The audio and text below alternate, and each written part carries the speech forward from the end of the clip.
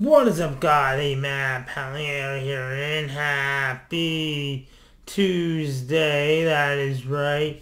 And today we're gonna be reviewing this old Toys R Us exclusive. The champ is here. That is right.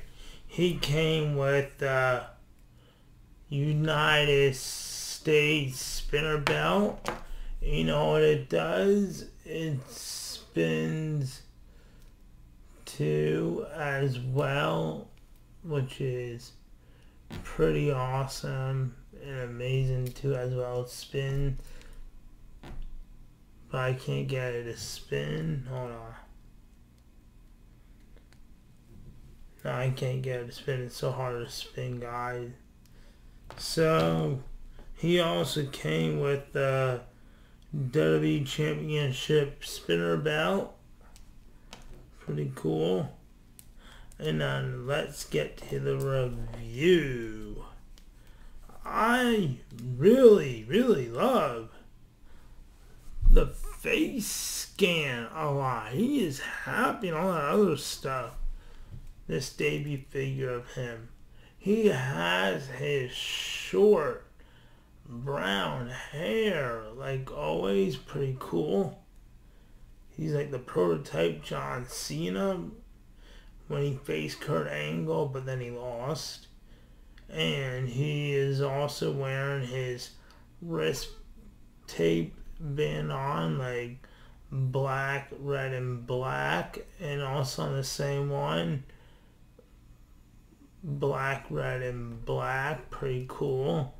And his trunks that he is wearing is red and black. As you can see on this side is black and the other side is black too. And there's some striped black sides going all around. Pretty too cool as well. He is also wearing his Bolt 2 red knee pads on and he is wearing black shoelaces and red boots, dark red boots, as you can see on both sides. And he also has some black on the bottom of his boots. Pretty cool as well. And on the top, there is a dark red on his boots as well. Pretty cool on both sides. And at the back of his boots, there's black stripes going down from here to here and right here and right here.